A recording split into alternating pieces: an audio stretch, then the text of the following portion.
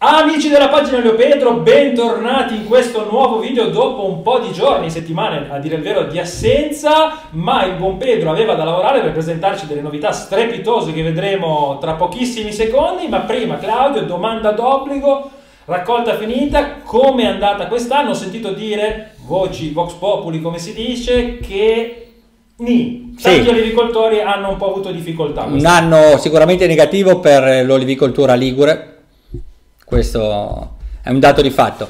Però noi possiamo ritenerci soddisfatti, abbiamo anticipato la raccolta, siamo riusciti a fare un buon prodotto, chiaramente eh, le quantità sono inferiori alla media annuale delle nostre produzioni, comunque l'importante è riuscire, che siamo riusciti a ottenere un buon prodotto. Non posso fare a meno di notare questa scatola che sta proprio lì dietro di te con eh, il logo mitico di Olio Pedro. So che dietro quella scatola c'è il frutto di un anno intero di lavoro. Lo sappiamo, Olio Pedro è alla costante ricerca dell'innovazione e cerca sempre di coniugare, diciamo, le novità con le tradizioni. E quello che c'è lì dietro è proprio il risultato di tutto questo. Claudio, vuoi svelarci che cosa c'è dietro questa scatola? Siete pronti? Che qui ci sono delle grandissime novità. Fai proprio Eccole smile, qua. ragazzi, eh, queste sono le nuove bottiglie di olio Pedro. Adesso Claudio ci devi spiegare effettivamente che cosa è cambiato, perché già a colpo d'occhio qualcosa sembra che sia cambiato.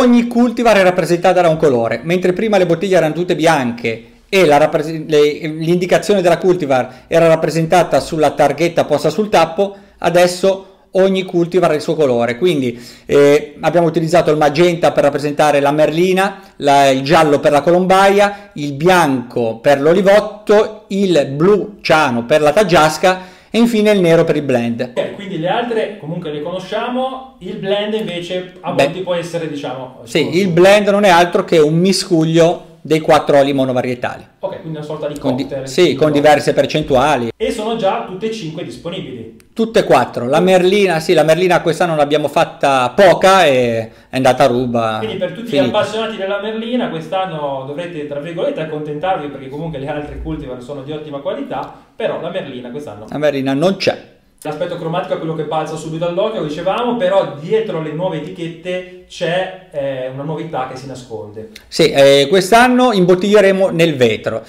Nel vetro perché? Perché prima di tutto c'è stata molta richiesta delle bottiglie in vetro, poi il vetro l'abbiamo sempre considerato molto fine ed elegante, ma avevamo un po' di dubbio a utilizzarlo in quanto lasciava passare la luce. Ricordiamo che la fotoossidazione nell'olio è velocissima.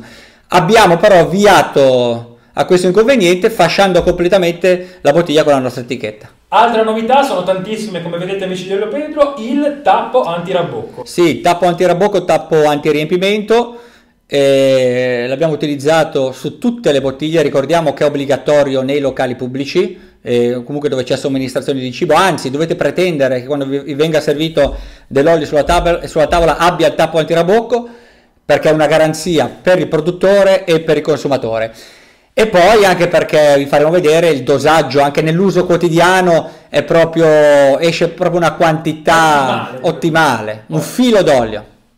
Altra novità, in questo video rimane alla tua sinistra, è il sacchettino con cui verranno vendute eh, le bottiglie di Olio Pedro. Un sacchettino di cartone spesso, giusto? Sì, per ogni bottiglia, in quanto chiaramente il peso del vetro è molto superiore alla confezione di prima, quindi abbiamo scelto eh, un sacchetto molto più resistente con dei manici in corda che adesso saranno accompagnati da un'etichetta eh, col simbolo natalizio, poi chiaramente Il cappellino di. Natale sparirà. Esatto. E non mancherà on top proprio sul tappo, come ci ha abituato Olio Pedro già nella precedente annata, il, ca- il cartellino con le analisi sensoriali. Certo, c'è- ricordiamo, come abbiamo detto nei precedenti video, che non si può dire l'olio è buono perché l'abbiamo fatto noi.